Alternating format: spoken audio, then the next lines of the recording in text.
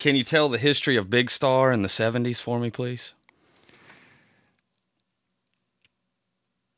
You know, my maybe not so briefly, but uh, my my first contact with Andy Hummel was was in the seventh grade. Uh, he was in the eighth grade, and we we had a mutual friend actually that introduced us. That uh, sometime later, well, actually, I was uh, maybe five years later. I was a senior in high school, and uh, was playing drums in the the Memphis State production of Hair. It was the uh, first off Broadway production of, of the musical. Andy came to see that production, and we kind of we got together again. He came up on stage after the, in the, the grand finale of the play, and uh, you know where the the audience members are invited on stage to sing "Let the Sun Sunshine In," and uh, Andy came over and and uh, said hello, and we got to talking, and he invited me to a jam session, and which I thought would be fun. Uh, and that, that wound up including Chris Bell and Terry Manning and probably Tom Eubanks uh, and a guy named Steve Rhea. And, and we had a good time. I thought there was, uh, you know, even even at that jam, uh, it you know, I thought things were pretty artful and, and creative. Uh, but, you know, that that evolved into really Chris and Andy and I being in a band together and uh, sometime, I guess, in 1970 or 70, early 71, uh, Alex, you know, was making the decision to move back to Memphis. And uh, Alex came to see us at the VFW Club in uh, close to downtown Memphis. And uh, apparently he liked what he saw and joined up. Um, and uh, we had this, you know, idea to to to record some original material together and, and maybe shop it uh, to majors in, in you know New York. And uh, John Fry I think at that point said hey you know I'd, I'd love to be a part of this and, and have been thinking about uh, starting a label with uh, you know an affiliation with Stax. So you know John Fry got uh, Ardent Records cranked up and um, you know we started working up original material and um, that's that's sort of the history of the the uh, beginning of the band. And we did, uh, you know, the first album was released a, April of '72, and uh, you know the the rock writers really liked the band, but they seemingly were the were the were, were the the only people that heard it. Um, and yeah, the drift, the band kind of drifted apart after that. Um, and we're invited to um, play a rock writers festival. And I actually wish I had the the date. The an Ardent Records um, marketing guy, uh, John King, was putting this rock writers festival together that included Bud Scoppa and Cameron Crowe and and Danny Goldberg and um, Richard Meltzer. Uh, Dave Marsh, a lot of you know kind of uh, pretty famous rock writers, folks that you know went on to kind of make a name for themselves as as writers. Um, and we had such a great time doing that that uh, we decided to get back together and do another album, uh, which was Radio City. Um, and we did that, and um, you know, did a few dates. Uh, along with that, went up to New York and played Max's Kansas City, and went to um, you know Boston and opened for Badfinger. But you know, pretty much just a handful of dates behind that. And again, nothing much happened with regard to record sales. Uh, but you know, again, rock writers really liked the band. Um, well, and, and, I should clarify, Chris Bell left the band after the first record um, to kind of for a solo effort, and then we got Radio City done, and um, shortly thereafter, Andy left the band. So it left Alex and myself, and um, we got together and did. Um, I guess this was sometime in '74. Uh, the third album, which we completed, I guess, in '74, and uh, but you know, and that was shopped around to major labels and maybe some independents, and and the response to it in some cases, "Ooh, do I have to listen to that again?" uh, it wasn't, you know, it wasn't very well received. Uh, obviously, it took three years for that for a company to step forward and release it. It was originally released by um, Passport PVC and and uh, in the states and Aura Records in England. But uh, that kind of brings us up, and then and then I left uh, for various reasons, but uh, one of which was to go back to school. It didn't look like Big Star was panning out to be a, a good career move but I mean, it was a great creative move and had a lot of fun doing it and a lot of satisfaction. But um, so you know, Alex and I went our separate ways, and and uh, probably late '74. Well, after that gap, what was it like reforming in the early '90s? Well, you know, that was uh, again seemingly by chance, and um, I a guy named Mike uh, Mulvihill called me and asked if I wanted to, to come to Missouri and play a gig with Alex and play some big star songs. And I said, sure. You know, uh, give Alex a call. And if Alex agrees, you know, I'll be glad to do it. So uh, they indeed found a phone number on Alex and called Alex, and Alex agreed. And, and we were both going up there to just, you know, with our expenses covered, we weren't really going to make any money doing it. Just seemed like a, a fun idea. Um,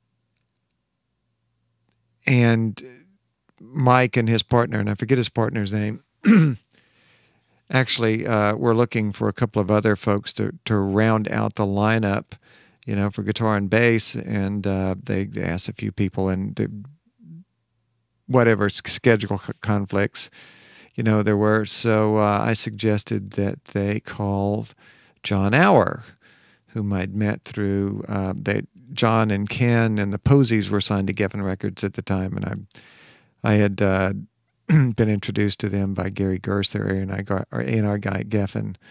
So uh, Mike gives uh, John Auer a call, and and John agrees, and then Ken says, "But wait, I can play bass." So Ken came along and played bass, and so it rounded out the lineup, and we uh, you know, I guess initially we were just going to show up in Missouri and play, um, unrehearsed and and just, I, you know, I can't imagine what it, that would have been like. Uh, but uh, Bud Scoppa at Zoo Records, uh, Jim Rondinelli, and who actually produced that the, the live what would be the live record from Missouri. Um, you know, gave us a call and said, "Hey, we'd like to record this and release it on Zoo," and it gave us a little bit of a budget, and so we flew up to to uh, Seattle and rehearsed a couple of days, and uh, then you know performed the gig, which was in a tent uh, just outside this big arena at the University of Missouri in Columbia. Uh, but I don't know what it was like. It was, you know, being on stage at that gig was uh, yeah, a great experience. You look out in the audience and people were singing along and seemed to know the lyrics, and there were big smiles on people's faces, and uh, it was you know it was a great time. It was a reason to to do it more often. So did that lead to a flurry of activity, or after that, or uh, basically what happened after or since the Missouri gig? Well, since the Missouri gig, we uh, later that year, uh, the latter part of the summer, I think we went to. Um, did some dates, like five dates in Europe. We played in London at the Grand, and we played the Reading Festival, and we played in Leeds, and we did a festival in Holland uh, called the Lowlands Festival. Then came back, and I think we probably played tramps in New York and and maybe the Metro in Chicago, and um, the following year we went to Japan, did five dates in Japan, came back and uh, played the Fillmore in San Francisco and then the Metro again in Chicago. And uh, a couple of months later, went back to Los Angeles and played the House of Blues, and uh, were invited to do the Tonight Show, uh, which it was the Halloween uh, show. Interesting, uh, not a very interesting show, but it was an interesting event we had Mayor Koch on the show, and and and I think it was Jennifer Tilly and maybe uh, Matthew Broderick.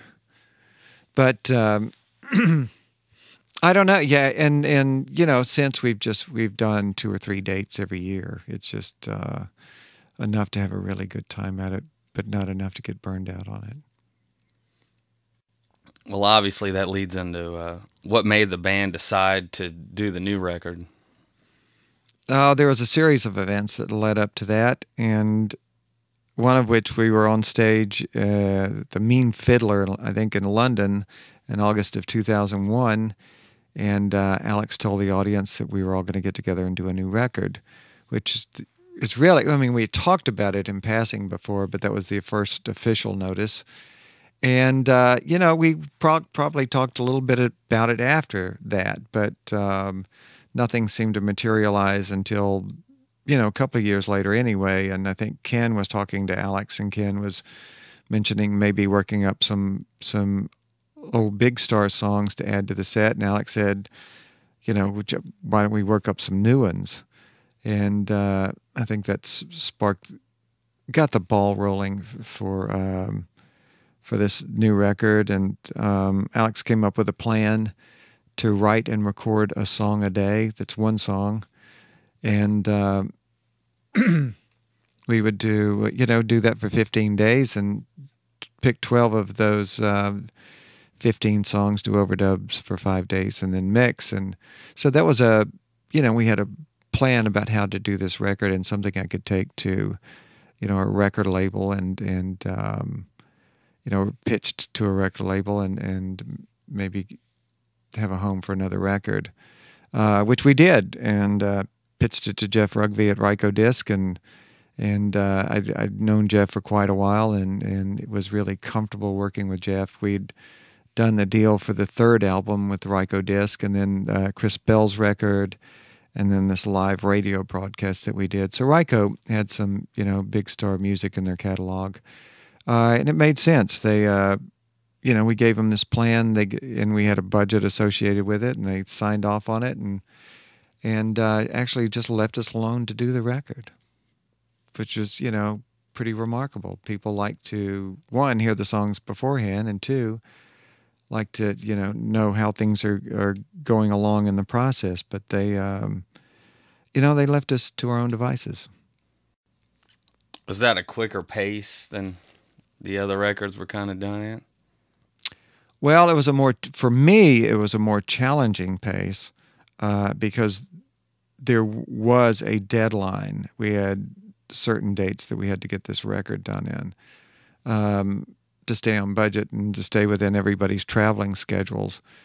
Uh, so, and, the, and, well, you know, that and the idea of, of writing and recording a song a day uh, certainly added to the challenge. And, you know, some days we'd come in and, and someone had an idea and we'd immediately sit down and sort of work through it, and work it out, and, and get the music done. Uh, and then some days we'd sit there and, and you know think, gee, what are we going to do today? And uh, in one of those days, um, Adam Hill, the assistant of the project, came up with uh, mine exclusively. And uh, he wound up pulling it off my wall. I had the, the single of that on the wall in my office at Ardent. And um, pulled it off the wall. We had listened, thought, gee, let's let's do another version of that because that that original version was uh, Alex and I recorded with Teenage Fanclub in uh, in '93, and it was just available through the New Music Express magazine. So uh, we we you know re-recorded that, and um, but we you know we uh, we got it done. It was pretty amazing, and uh, you know, I don't know that I would suggest that for everybody, but it's it's a neat challenge and you know, kind of satisfying to know that uh, we were all up for the challenge. It worked out really well. I'm really proud of the record. Well, as for the rest of 2005, uh, what does Big Star expect to happen? You know, I in in my whole career, I don't know that I've ever expected anything to happen. I uh, I've always hoped maybe, but I never expected. Um, I, you know, we're, we're, we're trying to work out schedules with the Posies and, um, and uh, the schedule that would accommodate some big star gigs. So maybe uh, right now we're sort of focusing on January, February of 2006. Uh, you know, well, you know, obviously the Big Star record comes out September 27th in 2005, and um, you know, Rykodisc have been uh, really uh, helpful and handy, and and you know doing a good job of of uh, you know marketing this record. I, I know I've done a lot of interviews, so that's a good indication. And what's next for Big Star? I uh, that's the last one on here. I guess we kind of answered it. But you're you're not writing for the fifth record already or anything. Uh, no, it's it. And gee, if we uh, if we stuck to to the historical precedence of 30 years in between records, I don't guess anybody would be around. But uh, you know, I I'm just excited to have this record out there and are coming out. It's um, what's today, the 21st. Uh, the record comes out on the 27th. We'll see what happens and see what kind of dates we can do and how much fun we have with this. And, uh, you know, we'll, we'll decide what to do in the future later on down the road. And the one more question, bonus question what exactly was Noel stroking? Noel was stroking his violin. Excellent. Thank you, Jody.